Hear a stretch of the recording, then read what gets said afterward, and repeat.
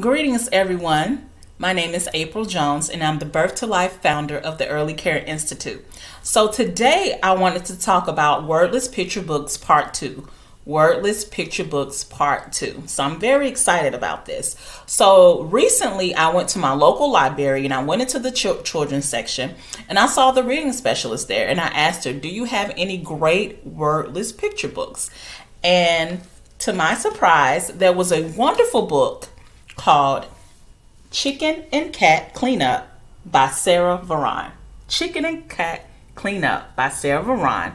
And Chicken and Cat are best friends. So when Chicken owns his housekeeping business, Cat naturally comes to mind to be the perfect partner.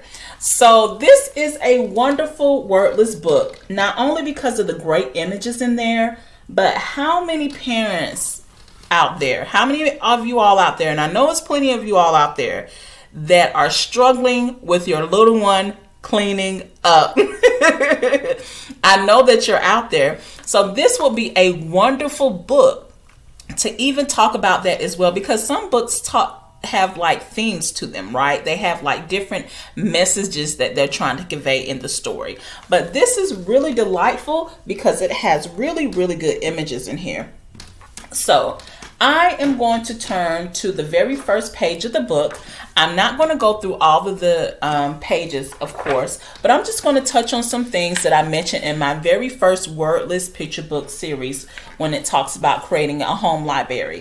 That very first video is available on LinkedIn also YouTube and my Facebook page as well. I have snippets of it on my Instagram page. So if you follow me on my um, website on my link you will see all of those um, videos on there. So hopefully you'll watch part one first and then you will understand about part two. So part two so let's jump in it. So part two so we have chicken right here on the very first page very first page. And he or she is looking out of the window.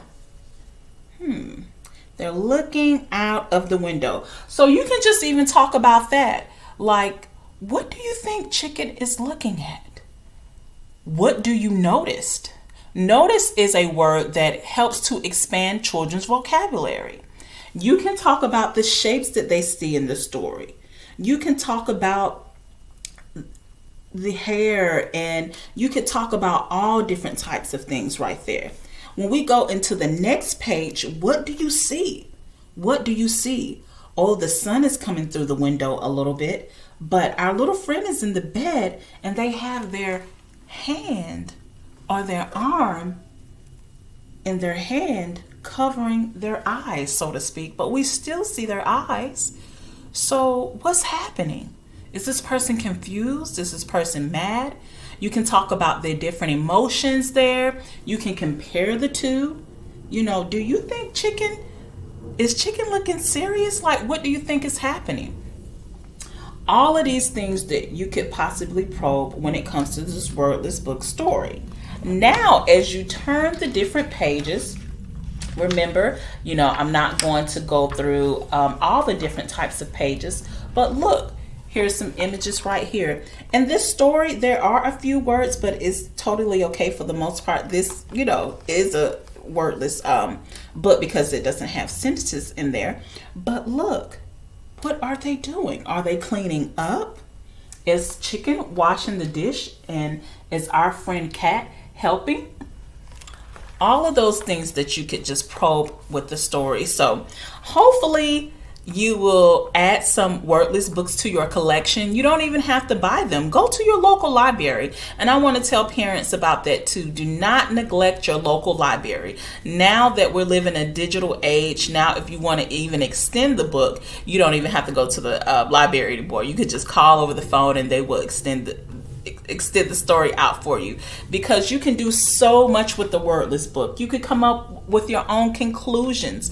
You in addition to talking about the images, you could talk about things that you want to see. You know, when you have um, once you get done eating dinner, just put your plate in the sink. You know, maybe you can wash it off, wash your um, plate off for a little bit. all of those different things that you can just plug in and talk about. So hopefully you pick up this book, Chicken and Cat Cleanup by Sara Varon. Um, I love the images in here. I must say, I love these images as well. And I think I'm probably going to write her um, a little email, so to speak. So that is part two of our wordless picture books. Remember, buy some. Make sure you add them to your home library. Um, if you have not started with the home library, get started. You don't even have to buy um, any books. Let's not neglect our, our local libraries in our communities as well. And for all of my parents out there that have an abundance of books, do a book swap. You know, if you have great friends, if you have friends in your local community, do a book swap. I know a lot of children um, in my local community have tons and tons of books, and some of you all have so many books you don't know what to do with them. Child care centers will always gladly accept your books okay? They will they will. So if you have wonderful books in great condition and they're appropriate for young children drop them off at your at your local child child care center. So have a wonderful day. I look forward to doing more videos about more things and i look forward to you even plugging into the podcast as well the birth to life early care institute. Check it out